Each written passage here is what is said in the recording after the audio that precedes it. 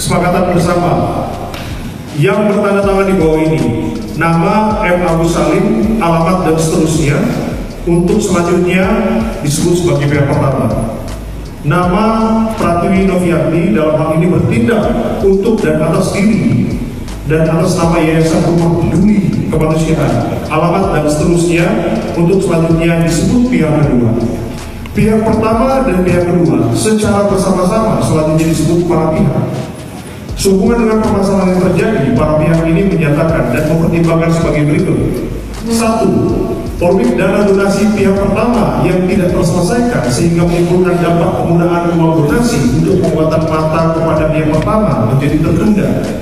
Dua, menindaklanjuti mekanisme pengelolaan donasi pengobatan yang telah disampaikan pada pertemuan terbuka dan surat dari Praneda dan Partners selaku kuasa hukum pihak kedua dengan surat nomor 302 garis miring P dan P garis miring Romawi 11 garis miring 2024 19 November 2024 Tiga, saran pembinaan dan surat peringatan oleh Kementerian Sosial Republik Indonesia kepada pihak kedua sebagaimana ditegaskan dalam rapat yang diselenggarakan pada 19 November 2024 dan November 21 November 2024. Empat, bahwa para pihak setuju dan sepakat untuk menyelesaikan polemik uang donasi yang pada akhirnya menjadi kegaduhan dan permasalahan berkepanjangan dengan memperhatikan dan mempertimbangkan seluruh saran dan pendapat serta aspirasi yang berkembang di masyarakat. Bahwa pihak pertama dan pihak kedua dengan menyepakati hal-hal sebagaimana yang diuraikan di atas mengatur lebih lanjut ketentuan sebagai berikut. Disimak ya kawan-kawan ya. Pasal 1 ayat 1 maksud dan tujuan kesepakatan ini adalah sebagai tata laksana kelola agar penggunaan dana donasi untuk pengobatan mata yang pertama yang dikirimkan melalui rekening BCA nomor dan seterusnya atas nama M. Abu Salim yang sampai saat ini terkumpul sebesar lebih kurang 1 miliar 400 juta rupiah dilakukan dengan baik secara transparan dan akuntabel.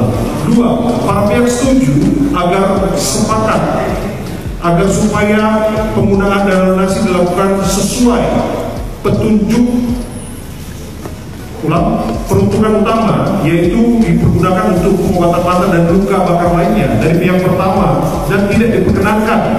untuk digunakan oleh pihak ketiga lainnya yang bukan diperuntukkan untuk pengobatan mata dan luka bakar pihak pertama. Pasal poin 1, para pihak setuju dan sepakat dana donasi yang saat ini berada di rekening pihak kedua sebesar 1 miliar 300 juta rupiah sepenuhnya digunakan untuk pengobatan mata dan luka bakar lainnya dari pihak pertama dan tetap dikelola oleh pihak kedua secara transparan dan akuntabel tanpa dipotong biaya apa pun juga dengan alasan apa pun juga. Nah, ya teman-teman ya, dikelola oleh siapa? Yayasan siapa? Novi. Yayasan Novi. Itu proposal yang disepakati. Itu proposal yang teman-teman juga dengarkan ketika waktu di gedung jual kan itu yang ditawarkan oleh Brian Padilla dan partner sebagai kuasa hukumnya. Dan itu disepakati dalam ini.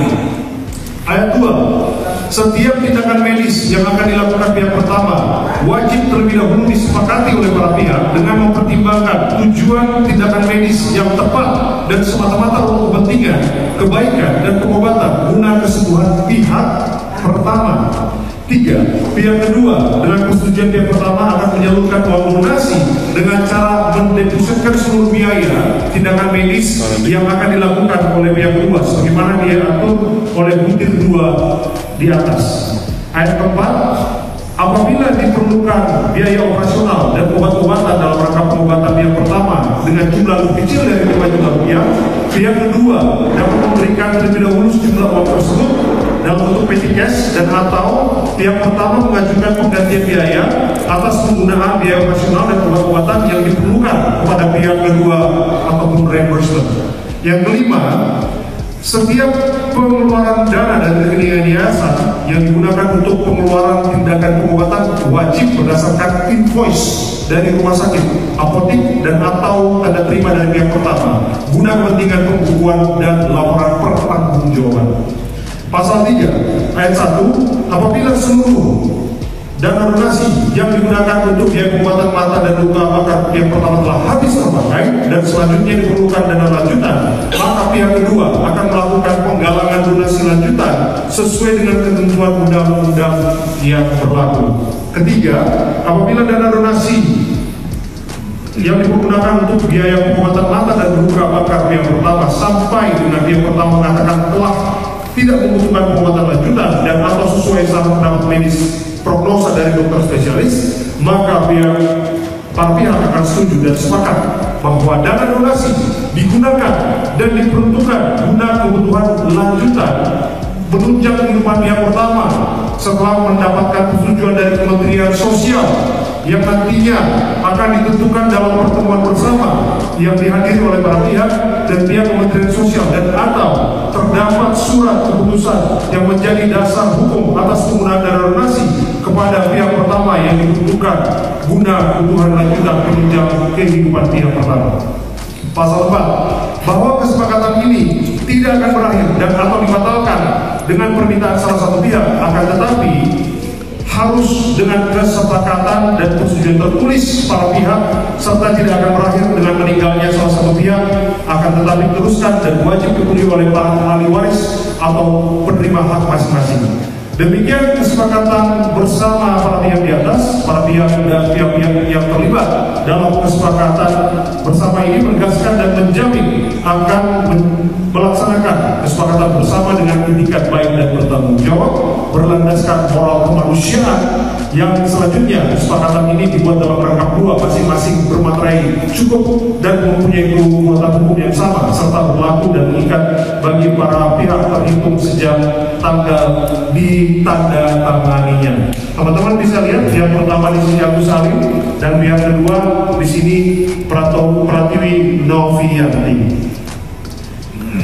Dan di sini seharusnya menandatangani saksi-saksi penasihat hukum para pihak Farad Abbas, Brian Paneda, Risa Murti dan Jerry Julian. Nah ini dia teman-teman.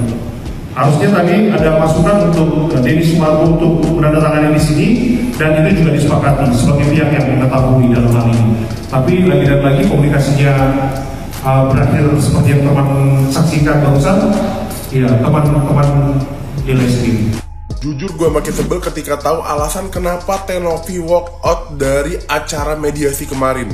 Dan menurut gue itu udah gak masuk akal banget isi dari perjanjian itu. Ini dia isi dari perjanjian yang diajukan oleh pihaknya Agus kepada Novi untuk ditandatangani yang dibagikan sama Densu di story dia kemarin. Apabila seluruh dana donasi yang dipergunakan untuk biaya pengobatan mata dan luka bakar pihak pertama telah habis terpakai dan selanjutnya diperlakukan dana lanjutan maka pihak kedua akan melakukan penggalangan donasi lanjutan sesuai dengan ketentuan undang-undang dan peraturan yang berlaku. Jadi lu bayangin kalau duitnya udah habis kita harus donasi ulang. Lanjut bahwa kesepakatan bersama ini tidak akan berakhir dan atau dibatalkan dengan permintaan salah satu pihak. Akan tetapi harus dengan kesepakatan dan persetujuan tertulis para pihak serta tidak akan berakhir dengan meninggalnya salah satu pihak. Intinya kalau si pihak Agus itu meninggal dunia terus akan dilanjutkan sama ahli waris. Anjir, ini dia maunya nih penggalangan dana sampai tujuh turunan Agus nih gue yakin nih.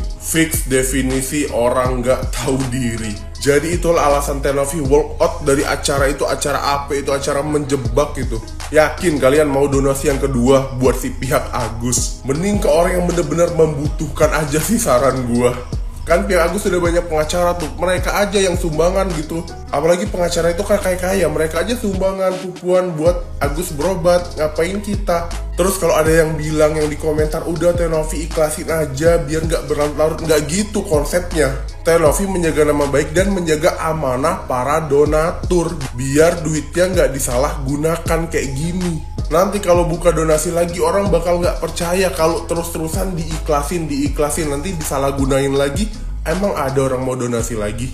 Jadi menurut kalian gimana guys? Coba kalian komen di bawah deh pantas aja Tenovi walk out dan nggak setuju sama isi kesepakatan mediasi kemarin. Ya isinya kurang lebih begini, kalian baca deh. Agus, Agus gue rasa lu bakal Agus sedih forever sih. Pasti video Agus teriak-teriak udah nyampe di FYP kalian. Kalau kalian nggak tahu, kemarin itu mereka habis melakukan mediasi gitu kan, biar si dari pihak Novi, pihak Agus dan yang lain-lainnya itu berdamai gitu.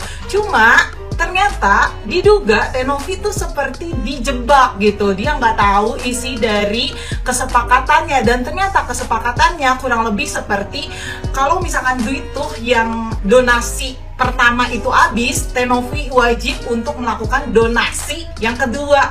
Kata gue pede banget masih ada yang mau ngasih donasi setelah kehuru haraan ini Agus kata gue Poin yang kedua yang bikin sangat mencengangkan, donasi tersebut tidak berhenti di Agus. Jikalau Agusnya itu itu donasi harus berjalan untuk keturunan-keturunannya kelak kata gue lu gak mau kerja. Intinya kayak gitu kan lu gak mau kerja. Maksud gue nyambungnya di mana gitu? Lu disiram air keras sama si Aji ya karena mulut lu yang bikin sakit hati orang gitu kan. Bukan ada diem-diem tiba-tiba lu dibanjur tuh mata lu pakai air keras bukan.